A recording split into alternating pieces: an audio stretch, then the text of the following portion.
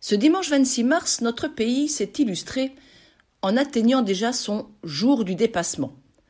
Le jour du dépassement, c'est le jour à partir duquel, en 2023, notre pays a consommé toutes les ressources que ses écosystèmes peuvent produire en une année, qu'il n'a donc plus les capacités naturelles pour subvenir aux besoins de sa population, et qu'il se met à empiéter, soit sur les ressources des autres pays, soit sur celles des générations à venir.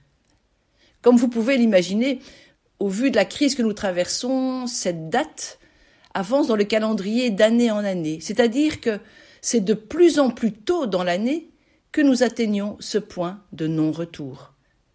Il y a 60 ans, nous étions encore excédentaires, et c'est à partir de 1970 que la balance est déséquilibrée. Vu la taille de notre pays, sa population et son urbanisation importante, nous figurons parmi les mauvais élèves de la classe. Sur un total de 200 pays qui sont évalués, seuls neuf sont pires que nous. Ce qui veut dire que si tout le monde vivait et consommait comme nous les Belges, nous aurions donc besoin de près de quatre planètes ennemies pour assouvir nos besoins. Imaginez le hold-up. Quatre planètes et demie. Et pour l'ensemble des pays, dans un rapport de solidarité mondiale, c'est déjà fin juillet que tous ensemble nous atteindrons ce jour du dépassement. Ce qui veut dire que, au vu de la consommation mondiale des ressources naturelles, et selon ce que nous sommes capables de produire et de renouveler annuellement, nous aurons besoin cette année de une planète trois quarts. Une planète et trois quarts d'une autre planète dont nous ne disposons pas. Nous vivons donc à crédit et bien au-dessus de nos moyens. Vivre à crédit au-dessus de ses moyens, c'est une chose contre laquelle tous les parents mettent leurs enfants en garde. Le danger de consommer, de dépenser et de ne pas être capable de rembourser ce qui a été avancé.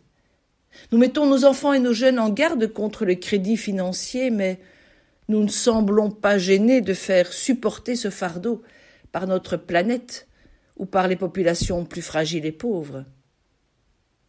Or, étonnamment, en 2020, avec les mesures de confinement, les restrictions de voyage et de déplacement, nous avons fait reculer ce jour du, dépassement de près de trois semaines. Ce qui montre bien que des solutions sont possibles, tant avec des mesures structurelles qu'avec le soutien citoyen. Réduire sa consommation de viande, choisir des modes de déplacement éco-responsables, recycler, choisir un fournisseur d'une énergie la plus verte possible et consommer moins d'énergie, des gestes à notre portée, nous le savons, et qui témoignent aussi de cette conversion intérieure à laquelle nous sommes invités pendant ce carême. RCF est une radio de proximité. Votre radio locale vit grâce à vos dons. Soutenez votre radio. Faites un don en ligne sur rcf.be. Radio Don RCF, la joie de donner.